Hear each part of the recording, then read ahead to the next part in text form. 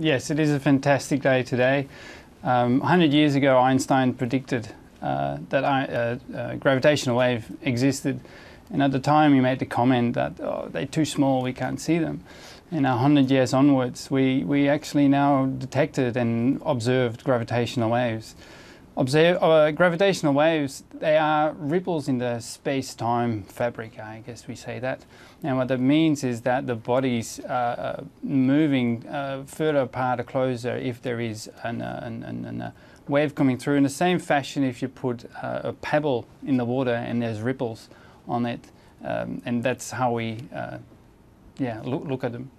And so, and, and, is this movement, these waves, are they are they only created by by by very large, unexpected incidents, or are they created all the time by by heavenly bodies simply moving through space?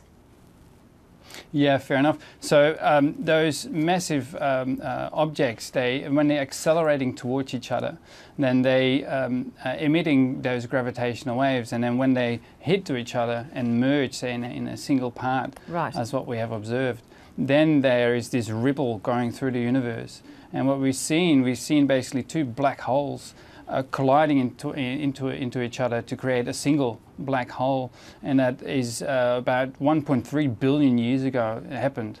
And the light of those, those waves travels through the cosmos and then suddenly came across the Earth and made the Earth sort of, sort of have a little jiggle. And that's what we, with the detectors we built in the US with the LIGO interferometers, um, we've seen those jiggles, and that showed us that there was an event happening so many years ago. And so, what's enabled us to, to finally see it now?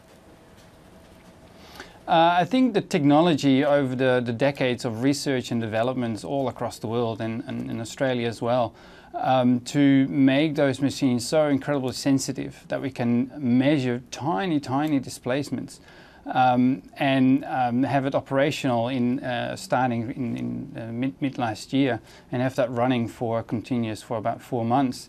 And it's, it's just the hard work of about a thousand scientists around the world to put together such a very, very sensitive machine.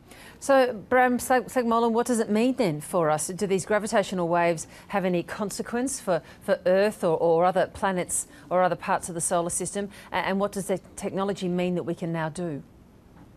Yeah, fair enough. So uh, the, the, the discovery of, of those gravitational waves won't build those uh, new spaceships or motors or engines to, to go further into the universe.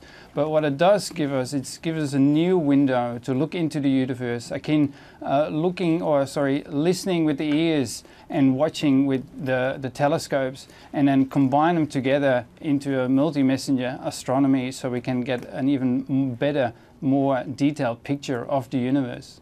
Look, it's a fascinating uh, development. Congratulations to everyone involved. Thanks so much. Thank you very much.